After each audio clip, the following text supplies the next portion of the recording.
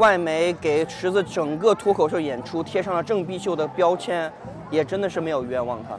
他真的是从开头到结尾，全是敏感话题。他一上来就说，在北美演了三场，大数据就已经开始给我推送美国政治庇护了，然后就大吹特吹自己在这个温哥华有多受欢迎，然后大家一听什么内容都卧槽，然后下面后面的人问是什么，哎，网友又不能说，但是内容非常我操。他的现场真的是所有要素全部拉满，你想得到的所有要素全部拉满。从比较弱的、最弱的什么调侃疫情这些，对吧？对他来说，这里面只是非常非常非常小的一部分。现在想得起来的，就是他调侃自己转发李文亮的这个微博，然后被删帖，他吐槽自己对这个疫情的传播有责任，这都其实是很弱的梗。后面也有吐槽一点点自己在上海的小剧场关门，其实并不是因为疫情，而是因为文化部，就这么一点关于疫情的，其他的都是一些真的是跟政币。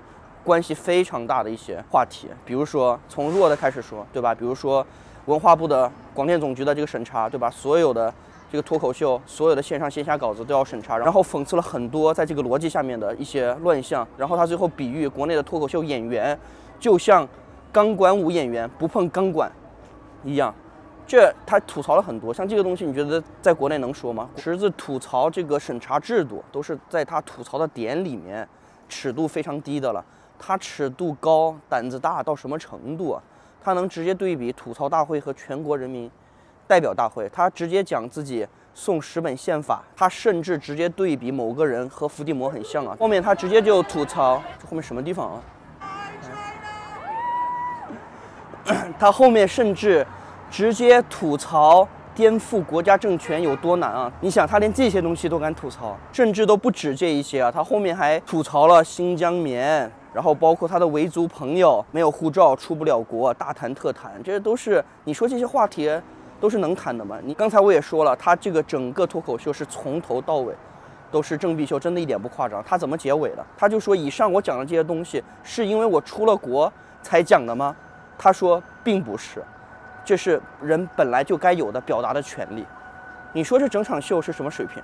另外很多听了池子现场的人都能很深刻地感觉到。池子是笑中带泪，就是因为他很多时候说这些东西的时候，他自己是非常非常的心酸。他在国内没有机会说，现在终于有机会说出来了，而且说出来以后，自己以后可能再也没有机会说了，所以他会非常的心酸。这是为什么这次海外的观众很多人对池子非常不舍的一个原因，就是因为这次听了。可能下次不知道什么时候再听到了，但现在的情况，池子真的已经没有什么办法回国了。现在他只能留在海外来进行巡演或者做一些油管的一些节目了。对于池子本人，对于海外喜欢池子的观众，真的是可以放飞自我，打开自己的新世界。什么新疆棉、耐克、阿迪被抵制，然后自己家里的靖国神社，真的是这些要素拉满，真的是拉满。很多时候我听的时候，我能充分的感觉到。池子因为这些片段，他在国内也不可能打磨太多，线下场也不可能去练，很多片段其实是非常 rough 的。但是这要素齐全的程度真的是令人震惊，至少是令我震惊。一般人没有意识去填充这么多要素，我觉得是不可能的。you